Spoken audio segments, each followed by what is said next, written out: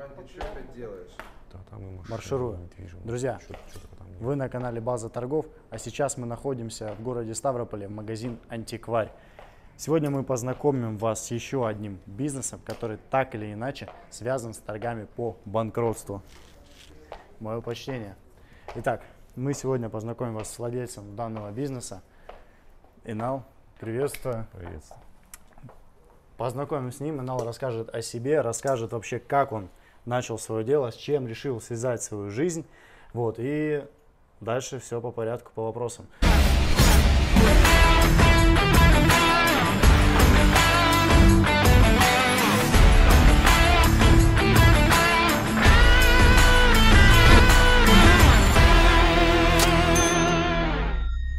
Так, Инал, давай, первый вопрос. Расскажи. Представься, в первую очередь. Меня зовут Инал, я владелец антикварного магазина. Э, Занимаюсь этим уже, наверное, с детства. Я в детстве собирал марки, модельки, э, монеты. Вот. И ну, это как-то все переросло потом в бизнес. Э, Просто когда ты занимаешься самым любимым делом, то этот бизнес больше всего приносит и удовольствие, и, соответственно, финансовые какие-то прибыль. Ну, понятное дело, ты вот э, коллек- коллекционируешь все вот именно для магазина, да, то есть ты купил и уже продаешь. Что коллекционируешь ты лично для себя? Я ничего не коллекционирую. Это, ну, как сказать, это своего рода моя коллекция. Мгм. Все, что здесь находится, принадлежит мне. И когда у меня люди спрашивают, что вы вот конкретно коллекционируете у себя дома, у меня дома нет ничего. Вот здесь это все моя коллекция. Самое, что я люблю, это э, старые классические автомобили. Вот это, это я коллекционирую. Так, ну к автомобилям мы перейдем чуть позже. Инал, расскажи, какая самая уникальная, там, редкая, не знаю, дорогая вещь, не знаю, наверное, в твоем магазине, по твоему мнению, находится? Э, Это меч японского э, самурая э, 16 века э, с экспертным заключением известного мастера, уже не помню, э, Можно конечно. достать, показать? Да, конечно. Вот это футляр для клинка называется сайсара. Вот это имитация клинка. Чтобы клинок не ржавел, разбирается полностью меч, и клинок э, вставляется сюда. Это дерево сохраняет, пропускает воздух, э, влагу, то есть клинок остается вообще в первозданном состоянии, он не ржавеет, никакими э, не покрывается э, коррозией. Сам клинок у нас Тоже как красиво, да, на рогах расположен. Да, эту подставку уже делали специально под этот меч. Здесь уже ножны немножко разошлись, поэтому мы их вот так вот скрепили. А так это подлинный меч японского воина 16 века.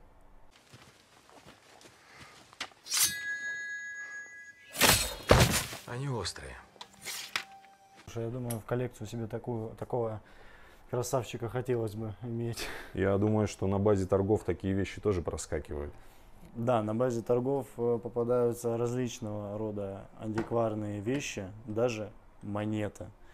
Давай расскажи, у тебя же монеты, да, еще есть? Да, конечно. У нас представлены монеты, э, начиная с античных времен. Они у нас тут в упаковках.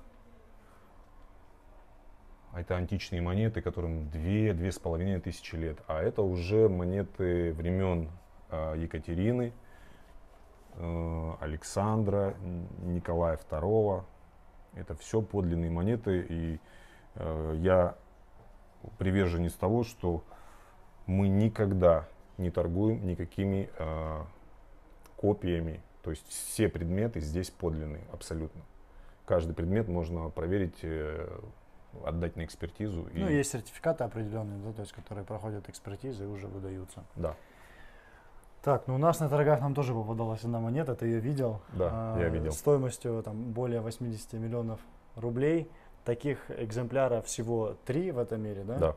Одна находится В Государственном историческом музее, вторая находится в историческом музее Америки. Соединенных Штатов.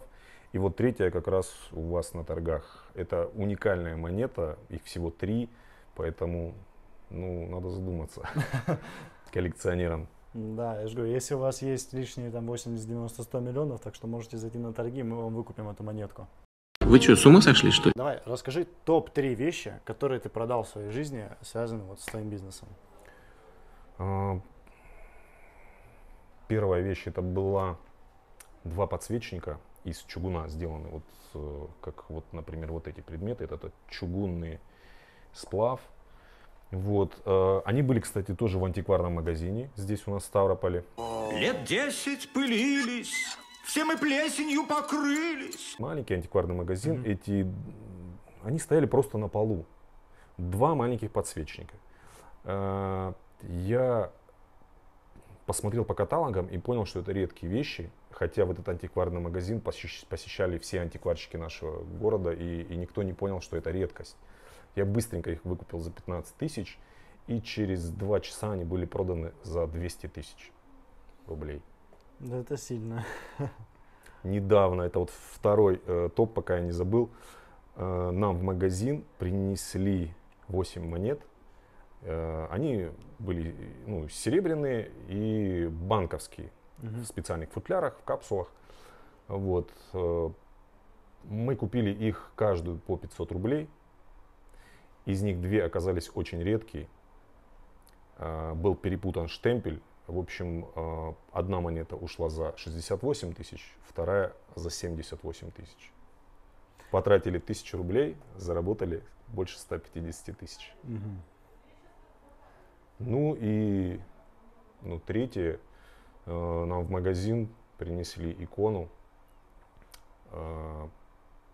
Мы купили ее, она была в серебряном окладе, с эмалевыми вставками. То есть я когда меня не было в магазине, и мне девочка, продавец, скинула фотографии, я понял, что это за икона, и я бросил все свои дела и приехал в магазин. И обычно мы у людей спрашиваем, сколько вы хотите за предмет. Ну, сейчас век интернета, и как бы люди уже знают примерно какие цены. И э, женщина говорит, я знаю, что эта икона дорогая. Мгм. Я говорю, сколько? Она говорит, 15 тысяч рублей. И я сказал, я согласен. А настоящая стоимость? А мы продали ее, чуть придержали, и, и через неделю продали ее за 250. Ну, маржинальность такая неплохая. Да. Мне интересно, вот за сколько монетку вот эту можно будет продать, которую с торгов можно будет выкупить. Ну, я думаю, что... Там можно цену, по-моему, любую ставить. потому что она уникальная. Это приз э, «Серебряная калоша». Слышали такое, да? Я нет. Э, «Серебряная калоша» — это вручается э, нашим звездам, которые сняли клип какой-нибудь очень смешной или несуразный, или ну, что-то такое там вытворили на сцене. Мгм. Вот эта серебряная калоша вручалась Киркорову за интервью с одной из э, э, наших ростовских э, репортер. Э, была такая там, когда диалог, когда она задавала ему вопросы, а он говорил, да, да, Научитесь говорить сначала по-русски, да. До свидания, все. Да, пизда. Вот. Это он И вот за оставил? это, из-за это ему вручили калошу. Естественно, Филипп Киркоров за ней не приехал на вручение номинации. И эту калошу э, отправили э, данному репортеру с Ростова. А она уже попала к нам из Ростова сюда, в Ставрополь. YouTube выдает там серебряные, золотые, рубиновые кнопки. А у нас выдают калоши Да, так и есть. У тебя тут вижу еще благодарственное письмо есть, да? С автофестиваля. И с автофестиваля, и с антикварного э, слета, да, это благодарственное письмо в э, автофестиваль Family Автошоу. 9 июля 2022 года на Ford Mustang, который стоит у меня внизу. Volunteer Fire Police Association meeting will be held Wednesday, 11:13 at the Money's the motivation, money's the conversation. You on vacation, we getting paid, so we on vacation. I did it for the fam. It's whatever we had to do. It's just. Ну, Мы сейчас, я думаю, спустимся и посмотрим его тоже более детально. В общем, тут у тебя я вижу часы. Часы, кстати, у нас тоже есть на торгах. Э, Самые разные модели, да. Э, Также, я же говорю, монеты, картины. В общем, друзья, все что угодно, то есть любую профессию можно э, завязать с торгами по банкротству.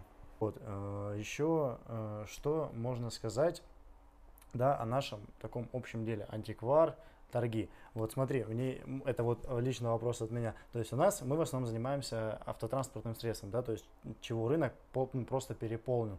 Э, Выбор колоссальный. И там ты машину какую-то заметил на торгах, да, ты там перешел э, в те же агрегаторы, да, там э, торговые площадки, и ты можешь примерно посмотреть рыночную стоимость. То как ты здесь подбираешь вот рыночную стоимость, потому что, ну, предметы просто уникальны, их практически, наверное, нет в продаже. Еще раз повторюсь, это опыт. А, Что касается, допустим, икон, это нужно э, по письму различать. Опять же говорю, есть каталоги определенные, где м, центральная э, Россия письмо, есть там Ветковская, Урал, то есть э, Палих. Это э, вот что касается икон. Что касается фарфора, есть каталоги, есть форумы, куда можно сфотографировать, выложить э, данный предмет, и его вам оценят. Либо вы мне скидываете на WhatsApp, и я вам сразу говорю, подлинный предмет или нет, и его стоимость. То есть, ну вот, каталоги, опыт и, наверное, форумы. То есть тебе даже достаточно отправить фотографию, и ты уже понимаешь. Достаточно отправить фотографию любой монеты, любого предмета, и я вам скажу, настоящий он или нет, и его стоимость. И да, мне было очень интересно тебя послушать, то есть о, каждой, о каждом предмете в твоем магазине. Но это еще не все. Пойдем спустимся к автомобилю, за которым мы сказали, и посмотрим его уже. Инал, э, давай для наших подписчиков организуем что-нибудь интересное. Можно сделать по промокоду «База торгов» скидку в нашем магазине 10%. Я считаю, что это отличная скидка. Приходите к каналу в магазин, говорите промокод базы торгов, и он вам все организует. Итак, на чем же ездит антиквар?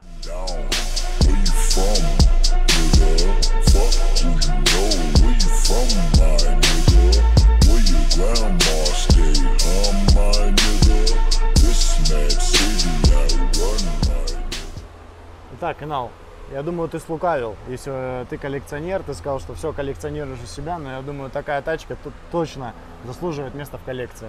Конечно, это коллекционный автомобиль Ford Mustang Рауш из тюнинг-ателье Джека Рауша. Этих машин всего 148 в мире. А у тебя какая? Номер 7. Номер 7. Агент 007.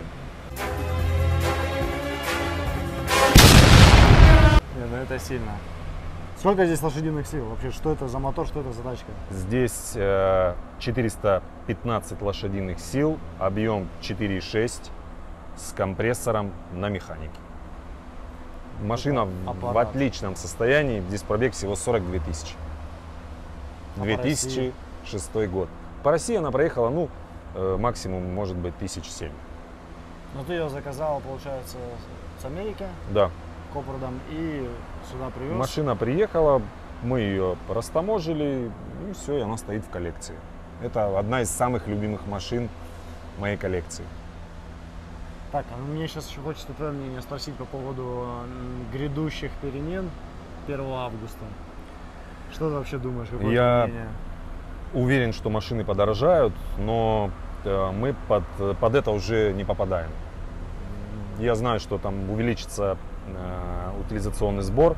Ну, у меня все машины оформлены на российский учет, мне Ну, уже это не грозит. проблем, да. Не, ну смотри, я думаю, сейчас вообще все машины абсолютно на рынке подорожают, но у нас на торгах цены будут также гораздо значительно ниже рынка. Поэтому переходите в наш телеграм-канал, подписывайтесь, выбирайте что антикварные вещи, что автомобили. В следующем выпуске вы увидите другого владельца бизнеса.